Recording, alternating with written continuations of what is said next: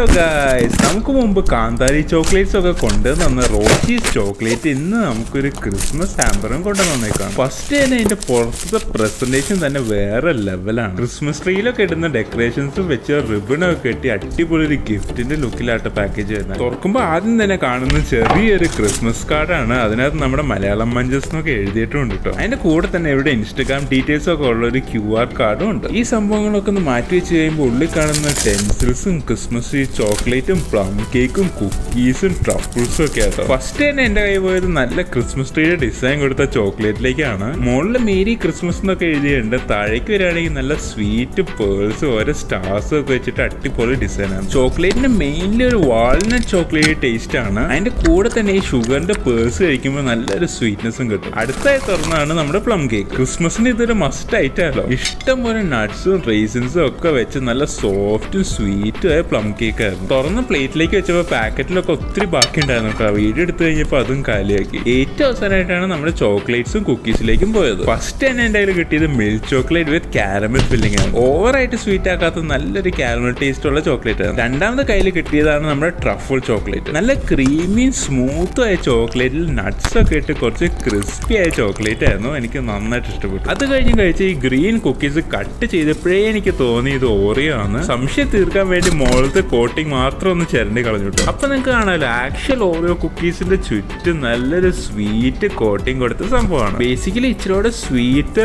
Dipped ഓറിയോന്റെ taste അത് കഴിഞ്ഞ് കഴിച്ച് ചോക്ലേറ്റ് കട്ട് ചെയ്ത് നോക്കിയപ്പോൾ ഞാൻ വിചാരിച്ചു വാനില ക്രീമിന്റെ ടേസ്റ്റ് ആയിരിക്കുന്നു. പക്ഷെ ആ ഫില്ലിംഗ് ക്രീമി ഒന്നല്ലായിരുന്നു നല്ല സോഫ്റ്റും വയലിട്ട് അലിഞ്ഞു പോകുന്ന ടൈപ്പ് ഏറ്റവും അവസാനം നമ്മുടെ കയ്യിൽ കിട്ടിയത് ഒരു ട്രഫിളായിരുന്നു കുറച്ചുകൂടെ ഒരു ഡാർക്കർ ആയിട്ടുള്ള ചോക്ലേറ്റ് ടേസ്റ്റ് ആയിട്ട് ഇതിൽ നിന്ന് കിട്ടിയത്. ഇവരിങ്ങനത്തെ പല ടൈപ്പ് ഓഫ് ഹാമ്പേഴ്സ് ഡിഫറെന്റ് പ്രൈസിലും ഡിഫറെന്റ് ഐറ്റംസും വെച്ച് കൊടുക്കുന്നുണ്ട്. ഇൻസ്റ്റഗ്രാം പേജിന്റെയും വെബ്സൈറ്റിന്റെയും ലിങ്ക്സ് ഞാൻ ഡിസ്ക്രിപ്ഷനിൽ കൊടുക്കാം.